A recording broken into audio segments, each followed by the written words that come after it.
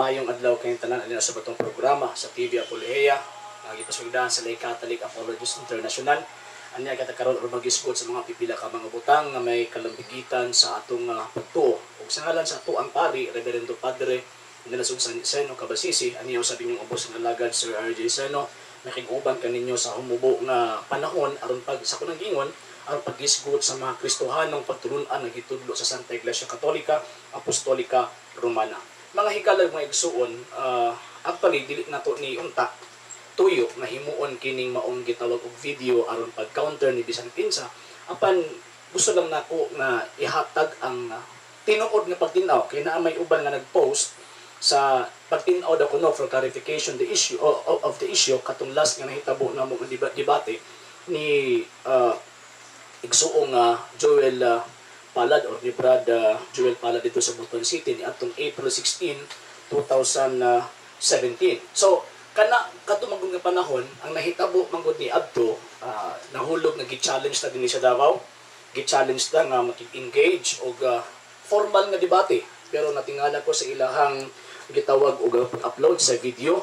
Inay nga formal debate ang ilahang gibutang dialogue ang ilang gi butang nga gitawag og title. Siguro basig nga ulaw siguro sila sa ilahang uh, baruganan. Mo nang dialogo lang ang ilahang gi butang unya karon dili pa lang dugay nag uh, post sila og uh, another video. Gawas adtong sa gitawag og sa debate nga tawag anang pagpaklaro kuno sa mga baruganan nga sumala pa nila ako daw kuno wala ko kapabarog sa tawag anang tema nga amo ang gidebatihan. So ang amo ang tema gidebatihan that the second divine person who is Jesus Christ suffered death according to the official teaching of the Catholic Church. So para ni adtong mga tao nga di kabalo or uh, way kasayuran sa paghimo sa formal nga gitawag og debate makaingon gyud nga wala ko kapabarog. Pero hinumduman nato sa debate manggod kinahanglan uh, na rules nga sundon at the same time kabalo ka sa imuhang function isip affirmative o isip negative remember nga ang amo ang topic that the second divine person who is Jesus Christ suffered death. So, isip ako afirmatibo, akong gipamatud-an na tinuod gyud nga ang second divine person nga mao si Jesus Christ namatay or nag-amtos ni anang maong gitawag og kamatayon. Pero ingon pa nila, niuyon daw kuno ko kay tawag anang ginabutangan na nako og tawag anang asman.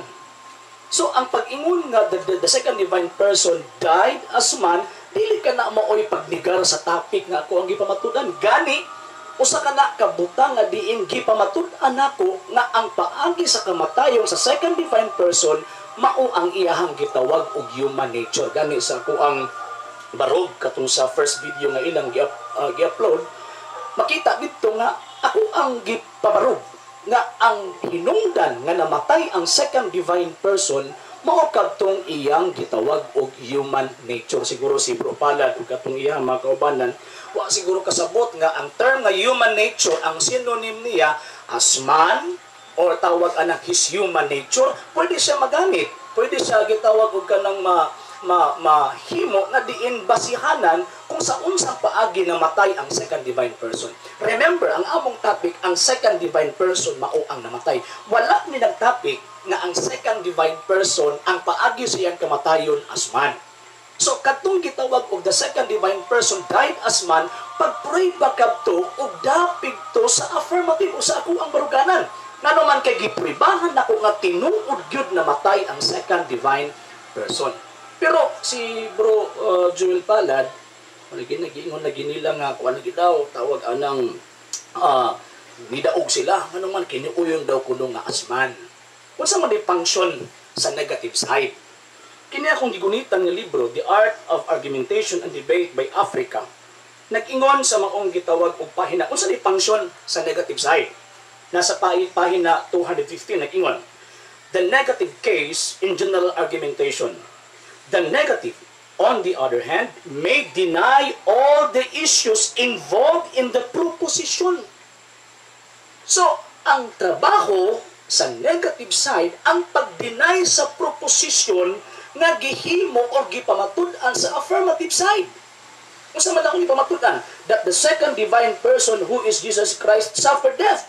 So ang iyang tawag anong barog na ang second divine person dapat da- dapat ang iyang ligar ang second divine person wala na namatay. Pero sa kaulihan ingon siya ang second divine person uyon siya nga ang second divine person namatay gibutangan niya og asman. Dapig ba na niya? No. Dapig na sa affirmative side. Nga naman, kay ang pagsulti nga asman, ang operation ni Kristo, gikuha niya dito sa human nature o pinaagi niya na ang second divine person na matay. Napamatunan ba sa akong tema? Yes, that the second divine person who is Jesus Christ suffered death. Muna mga higala ug mga igsuon, kung tawag anang mo engage sa debate, ako alang tambag ni uh, bro uh, palad mo engage sa debate, dapat kabaluta atong function. Isip debater. Kabaluta atong function og asa tadapit. Pag affirmative ka, ikaw ang pamatuod na mo ang burden of proof. Sama sa akong gihimo, ang burden of proof naa sa ako. Naa na ko ang burden of proof. Ang negative side, naa siya gitawag og burden of rebuttal. Dapat pamatud-an niya nga ang divine person wa gyud namatay sa bisan unsang paagi, maas God man or maas man. Mo na ang iyahang tawag anang negation, pero ang problema ni uyon man gud si tawag anang kuan si bro uh, palad nga ni uyon siya nga ang second divine person na matay as man.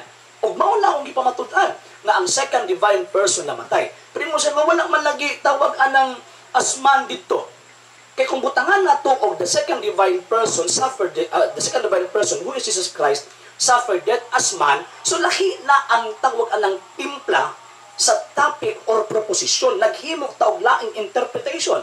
Kaya kung butangan nimo og tawag anang asman, nahulog nga ang ako ang gipamatud-an ang mode of operation sa di second divine person. Dili na tong main topic nga ang second divine person namatay yun palusot naman yun siguro na nila na tawag anang butangan yun nila og uh, asman. Pero remember nga ang barog nako isip affirmative side akong gipamatud-an nga tinuod yun na matay ang second divine person. Og nikuha siya operation through sa iyang human nature. Mo nang giingon lagi nga uh, Christ died as man or the divine person died as man or God died in his human nature. Pero klaro ang gisulti sa gitawag og Catechism of the Council of Trent migamit og termino nga God died yung mingon biya na si tawag anang bro palad ug katong iya magkaubanan basta gani God died unya pagkahuman walay gibutang nga asman sayop na eh question sa Council of Trent katong ako ang gibasa naabi gisumpay nga asman ana atong basahon daw It is not, however, our belief that the body of Christ alone was entered. The above words propose as the principal object of our belief that God was buried. As according to the rule of the Catholic faith, we also say with the strictest truth that God died. Wag gid giingon diri nga that, that God died as man or that God died in his human nature and that God was born of a virgin. For as divinity was never separated from his body, which was laid in the sepulchre, we truly confess that God was buried. So klaro kayo na mga higalag, mga igsuon, bisag walay sumpay nga asman, the fact nga gigamit, so therefore tama ang paggamit anang term na God died. O katong God died asman, mao to ang explanation, qualification sa giingon sa simbahan katong formula nga giingon sa simbahan nga God died. Pag ingon nga God died as man or Christ died as man, that is the explanation, not the formula used by the church para pagtudlo sa insakto na pagtulunan. So, ang akong tambag ni tawag anang bro uh, Jewel Palad uh, unta sa sunod uh, nga panahon kay kalabi na karon ang hagit na pud siya og tawag anang uh, debate. Kay ingon pa niya kung si Basing Kisa na itong tawag anang mo nigar or mo sukol sa iyahang tawag anang challenge uh, mo text daw sa ilaha or mo tawag daw sa ilaha niya. Katawanan kayo ang tema nag-ingon resolve that Jesus Christ through God and through man died not as God but as man mura og dili ko makatuo nga nga ang amigo nga si Brad Joel uh, pareha man ta katoliko. Pero mura dili ko katuo nga tawag anang mag-engage ka og usa ka mga butang wa ka kasabot. Or wa nato gitawag og masabti. Nga naman kay pag muhimo manggod og proposition sumala pa sa the art and argumentation and uh, debate. The art of argumentation and debate rather. Nag-ingon the proposition must be in the form of an assertion. The proposition should be stated in a categorical, declarative, positive statement, not a question. Negative statements should be avoided. Pag-ingon pa lang niya nga, Jesus Christ, true God and true man, died not as God, but as man. Pag-ingon nga, not as God, it is a negative statement. So, ang buti pasabot, nahulog nga tawag anang ang affirmative magpamatuod uh, mo gamit og mga termino nga tawag anang na ay negative intonation.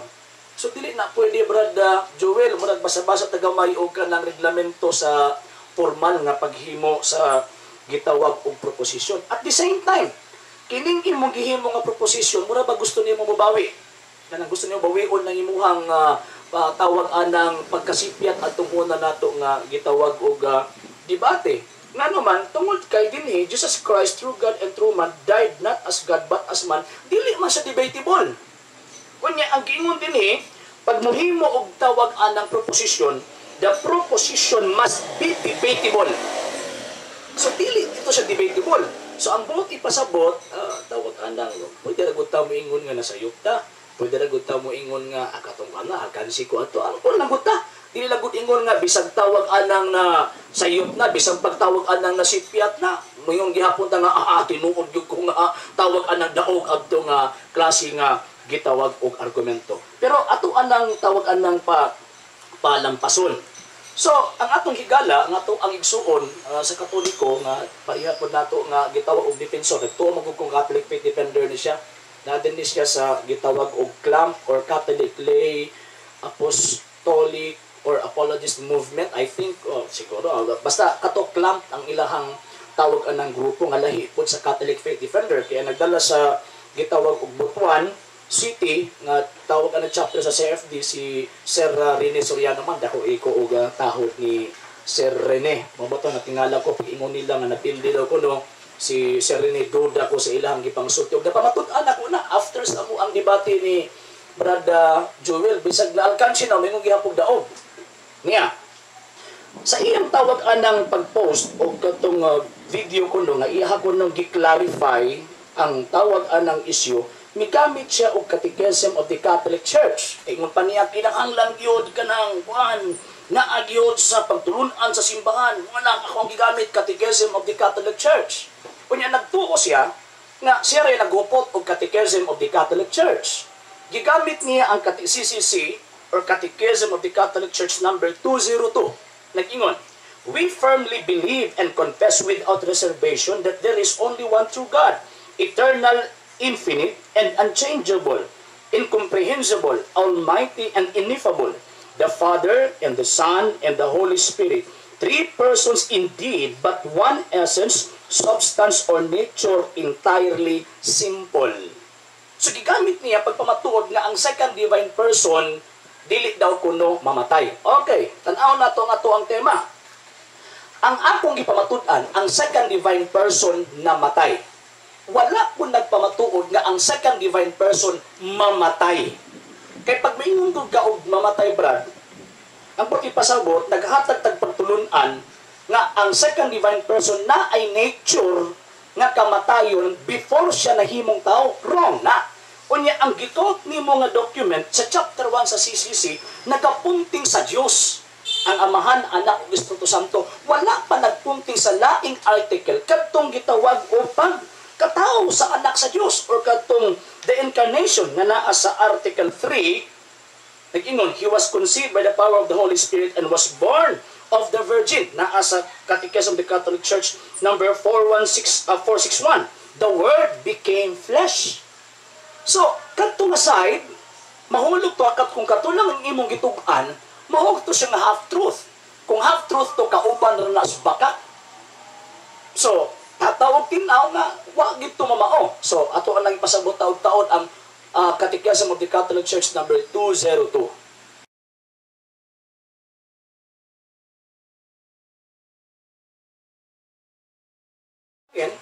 Gigamit sa atong higala o uh, kauban natong defensor sa pagtuo uh, ang Catechism of the Catholic Church number 202 Unya iyang gipamatud-an nga gitawag og ang second divine person di gid mahitabo nga gitawag og makaangkon og kamatayon.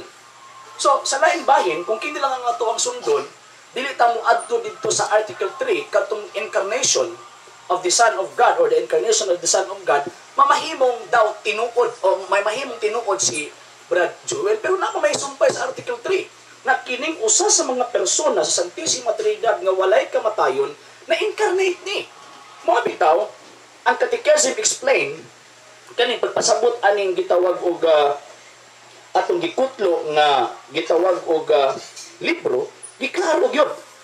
Na unsa man niya ato ang tawag anang basahon.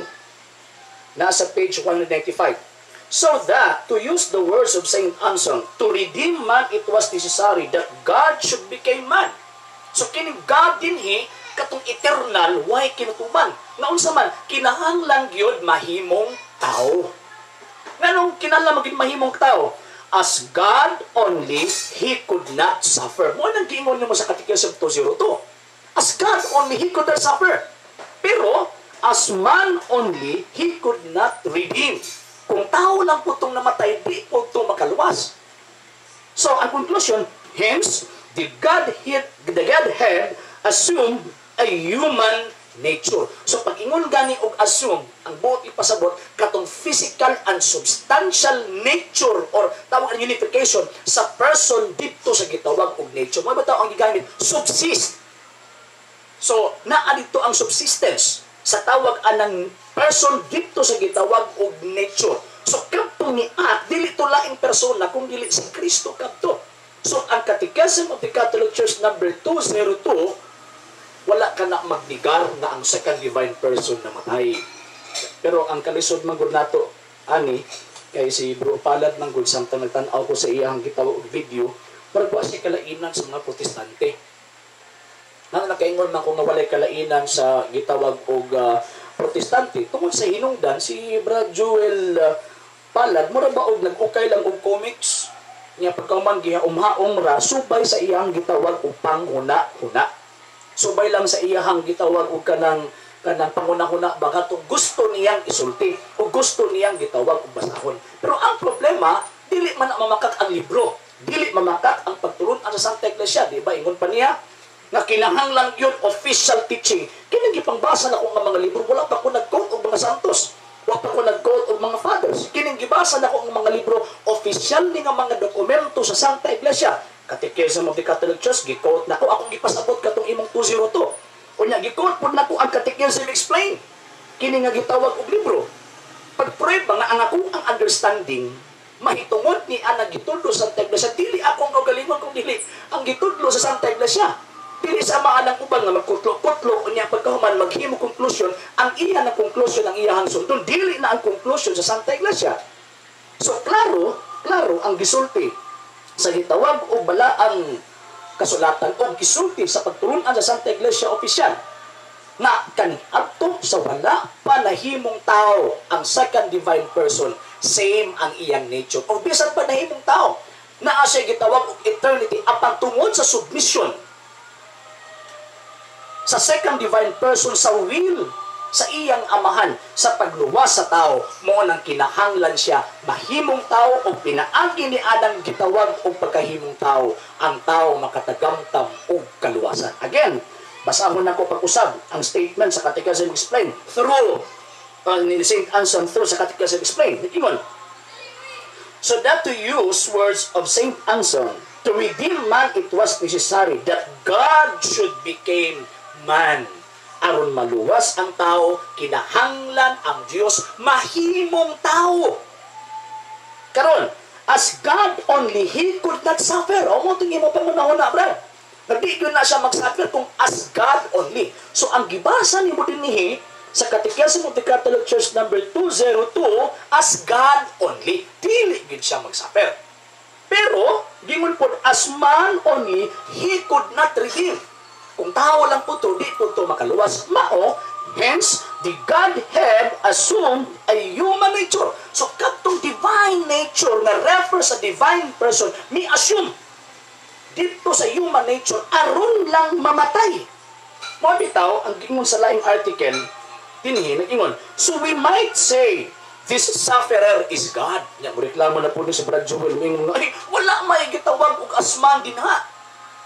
Wala may asman o dinhi kay ino nay kama. So we might say this sufferer is God. This dying man is almighty. But we cannot say that Godhead suffered or died because the word Godhead means divine nature and it never suffered. Tama. Nga naman kay ang divine nature, dili man siya maoy nagsuffer. Dili man siya maoy na tao aron mahimo magsuffer. No. Ang natao mao ang divine person. Unya na atay gitawag og illustration aron masabtan sa atong mga kaigsuonan nga naa din sa Butwa, Butuan City nga tawag anang sakop anang clam para masabtan nila unsay unsay tawag anang buot ipasabot sa simbahan. Based sa pagsabot sa simbahan dili sa pagsabot ni Brother Joel ha?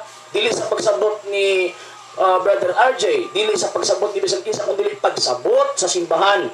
Mahitungod anang gitawag og second divine person. Nga diin namatay kanang God died God died in His human nature. God died as man. Check. Correct. Mabatali kung correct. Na naman, kay klaro magiging nga si died na matay. So, katong tawag anang kanang as man, that is a source of operation of the second divine person. So, dili pwede nga ang source of operation mao to ang nag-antos, kundi ang nag-antos kadtong nihimo sa operation nga mao si Ginoong Hesus Kristo.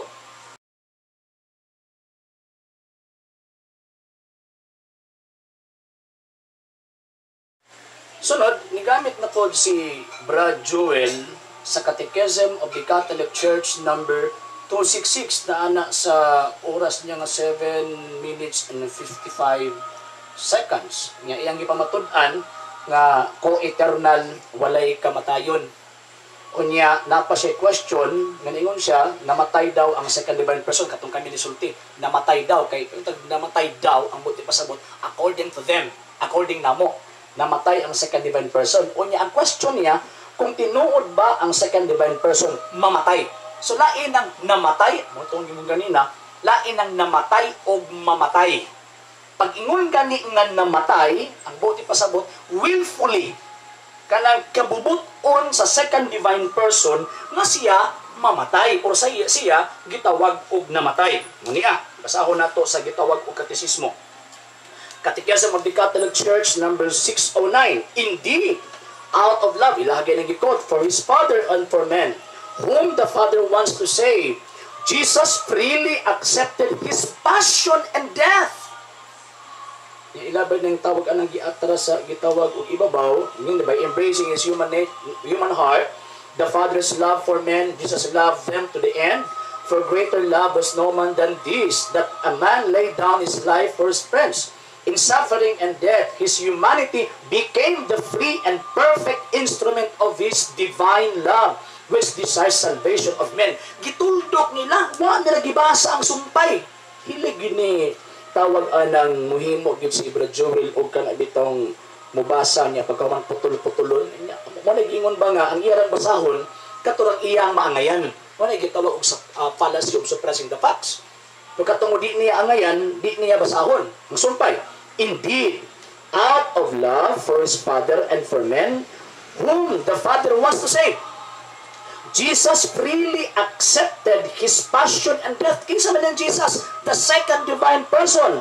Mo to niingon si Kristo, No one takes my life from me, but I lay it down of my own accord. So ang buti pasabot, kabubuton niya nga mamatay o kabubuton niya nga muadto sa gitawag og kamatayon nga mahiangom sa gitawag og kamatayon. Mao nang tama nga ang Dios way kamatayon pero dili ta kabuot bisan pag si Brad Joel magsigdupa-dupa pagkuto Lord di ka pwede mamatay Lord. Pero si Kristo miingon no one takes my life from me but I lay it down of my own accord. So walay makahimo pagkuha sa akong kinabuhi gikan kanako apan kabubuton ko kining ihatag. Niya nindot mo gutong uh, gitawag og uh, Biblia. Ito na lang siguro ning gitawag og uh, basahon.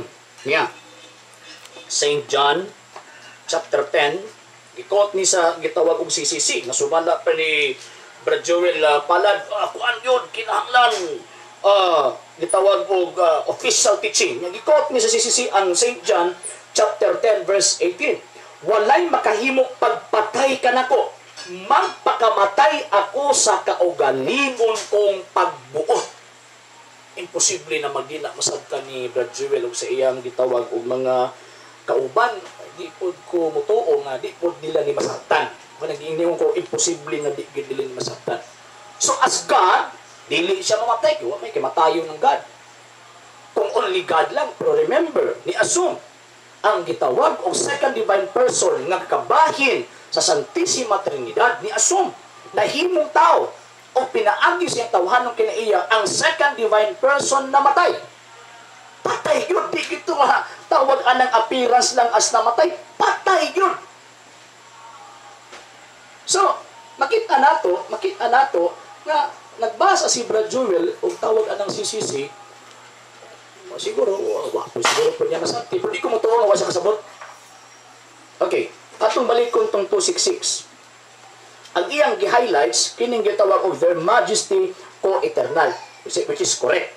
So, atong ipadayon, kadtong usa ka article or usa ka gitawag number na continuation sa Catechism of the Catholic Church number 266 ngano man kay gipadayag sa atong katesismo nga kadtong eternal God na composed of three divine persons ang usa ni ana wala nagpabilin nga Dios nung kinaiya lang ang gisgutan hinunua bisan pa sa article 1 nga nagisgot lang og Dios katong eternal God, katong tawag anang God nga nagupot sa eternity, ilang giklaro o ilang gitawag anang gipadayag. Gipadayag sa Santa Iglesia, nagin ang second divine person ni Ana, nahitabo nga nahimo kinang tao, pinaagi sa inkarnasyon. Mo nang atong ang basahon ang Catechism of the Catholic Church, number 266 at 267, na continuation from katong 266 nga gibasa ni Brother Joel Palad. Atong basahon inseparable in what they are. Katong uh, tawag anang Trinidad, diligid mahuwag. The divine persons are also inseparable in what they do. But within the single divine operation, katong tawag anang buhat lang sa usa ka gitawag og persona nga wala na bu wala gibuhat sa ubang mga persona. It shows it shows forth what is proper to him in the Trinity especially in the divine missions of the Son's incarnation and the gift of the Holy Spirit. So, gipadayag sa Santa Iglesia na nagtudlo siya kining eternal God why kinutuban. Kining eternal God why kamatayon. Apa na ay gitawag og exemption diha sa gitawag og second divine person? Kay wala lang muungot nga Dios nung kinaiya lang ang iyang giutan hinunua pinaagi sa inkarnasyon kining second divine person na himo kining tao og nakabaton kinig kamatayon. Bisan pa nga naa sa kinaiya nga eternidad kay sa ato anang gisgutan dili pa lang dugay klaro nga gipadayag nga kung siya kini nga gitawag og Dios kining Dios nga atong ang gitawag og gituuhan way kamatayon apang dili ta makabuo o dili ta makahimo nga mapugnan nato ang Dios kung siya gid mismo gimbutan niya nga gitawag og mamatay. Then ikatulong argumento sa ato ang higala. Nag-ingon daw nga God died pero ang divinity wala mamatay. So karon ako ang tawag anang i-presentar nga tawag anang chart kay para masabtan ni Bro Joel Palad apil sa iyahang gitawag og mga tinun-an ngano nakaingon mi nga ang kining gitawag og God na died ni pero ang divinity wala. So tuguti ko ninyo nga i-present namo o i-present nako kining maong gitawag og uh, presentation or chart ang dali ra natong gitawag og masabtan so mao ni ang usa ka butang na wala gid masakti sa ato mga nagsuunan o sa tuang mga kauban nga mga tawag anong defensor po diya sa Botron City. Kinang the dogma of the hypostatic union. At the same time, kining gitawag og communication of idioms. Sa atong pagtuong katoliko na ay usa lamang ka persona nga nahimong tao nga mao si Ginoong Kristo. Kani adto sa wala pa nahimong tao ang iya lamang gihuptan kina iya mao man gitawag og divine nature. Mao tong sa 266. Mao tong giingon sa 202 katong gikot ni Brad Joel Palad. before nahimong tao ang ikaduhang persona, maulang ni ang iyahang gitawag og gihutan. So, unsa may properties sa divine, divine nature? So, ang properties sa divine nature, omnipotence, omniscience, omnipresent, ug kuman pa.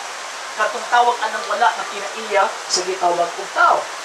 Apan sabihan ang tao, o ang, ang second divine person, nahimo ng gitawag og tao, so kining divine person nga kaniadto to divine nature ng iyang gihutan, nidungag sa laing naturalisa nga mauning gitawag og human nature. So ang natao, ang second divine person nga naghupot na karon og duha kinaiya, divine and human nature. So mo ni ang gitawag og the dogma of the hypostatic union. So, kanong hypostatic union man, kay kining duha ka nature, wala ni ma-mix. Mo ning giingon ni Brad Joel Palad nga dili pwedeng ma-mix. Pero sa kung ang observation sa iyahang gitawag og uh, gipakita nga video katong ilahang gitawag og footage nahulog nga dili daw pwede nga ang divine nature ma-mix dito sa gitawag og divine person. Dili na mao ang gitawag og giingon nga dili ma-mix.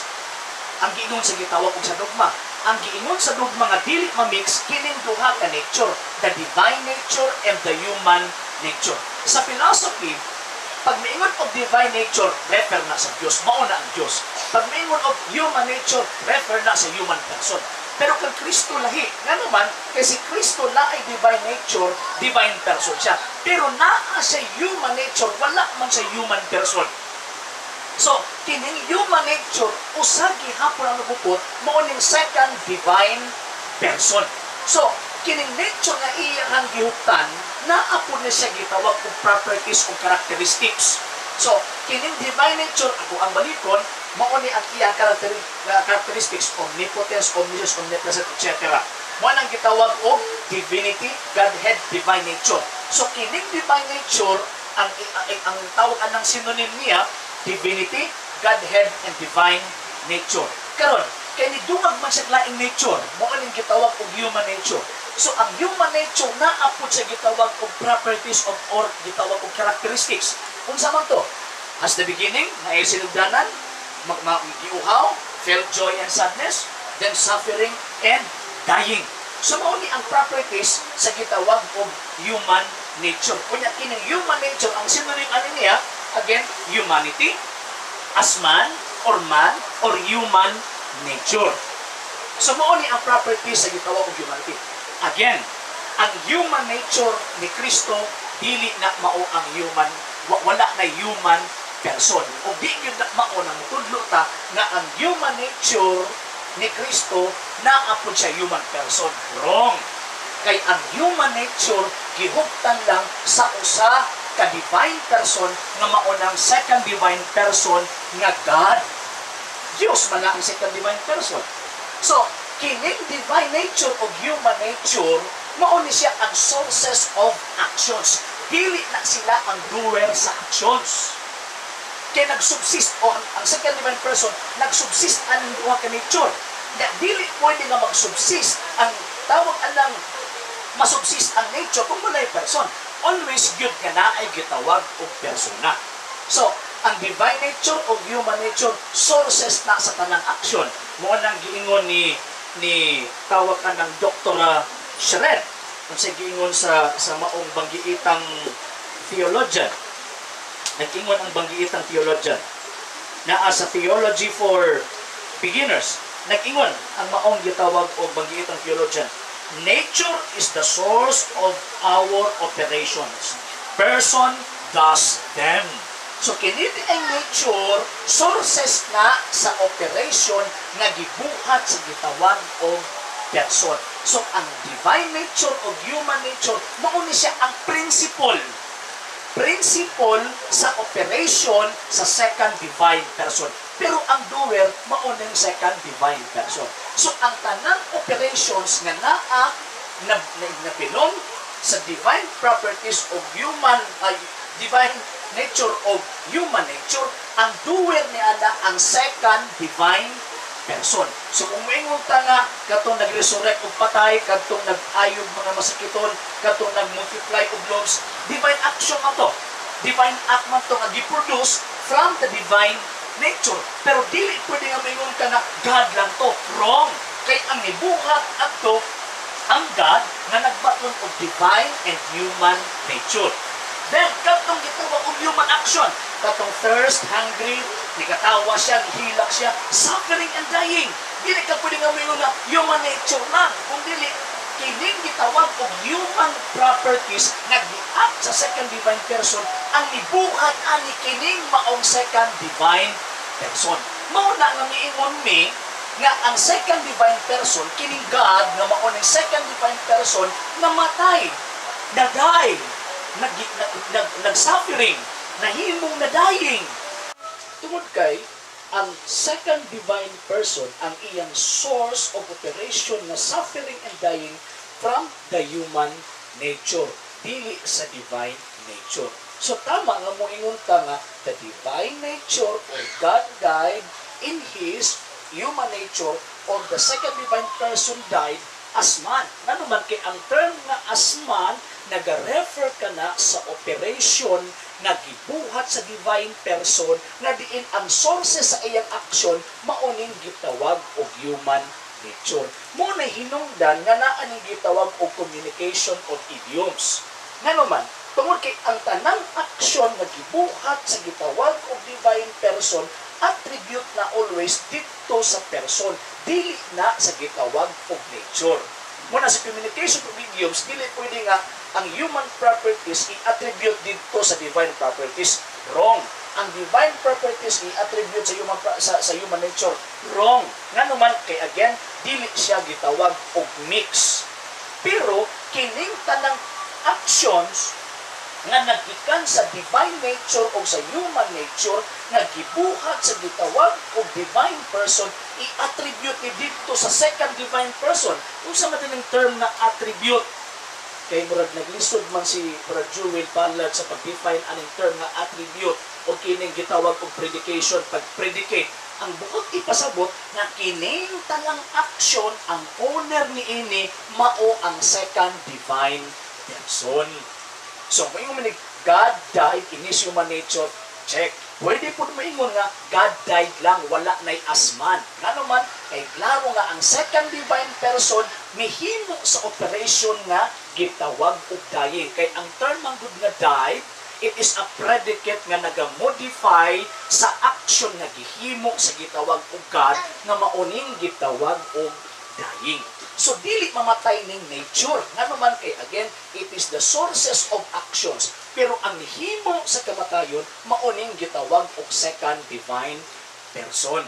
So, karon ingon sila nga, uyon ko, nga tawag anang namatay si Kristo as man, pero dili ko muuyon nga namatay ang divine person. Ato daw, eh, siguruhon paminahon si Bra, Brod, uh, Bra, Brad Joel Palad sa iyahang statement nga giuyon siya nga ang Kristo namatay pero di siya muuyon na ang second divine person namatay.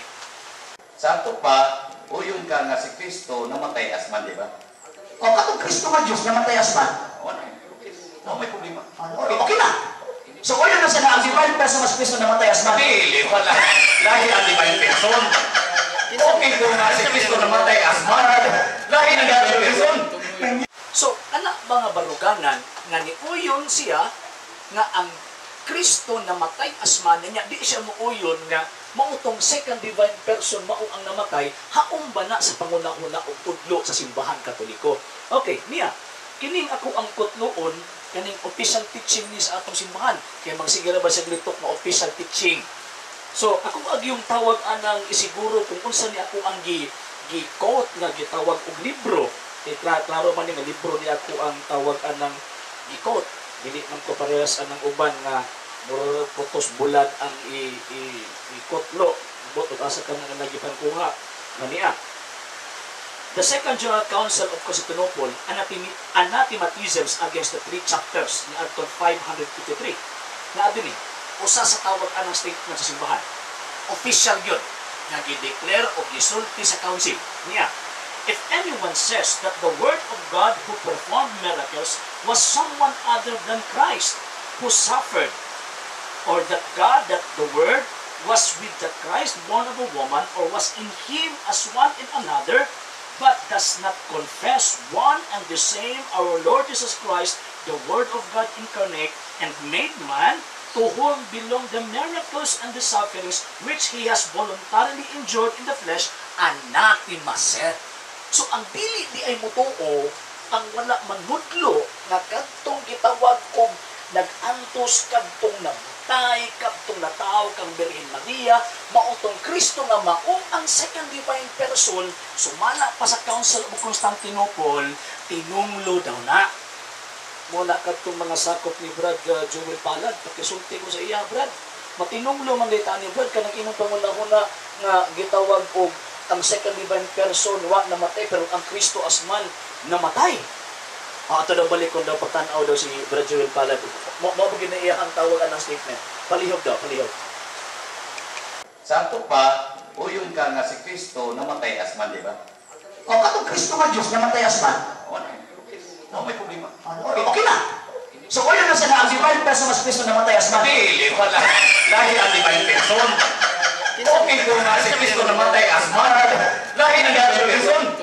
So ang buti pasabot, tudlo ang ginaan niya, susumala sa, sa tawag ka ng konsilyo sa atong simbahan, kanang maong klaseng baruganan, matinunglo.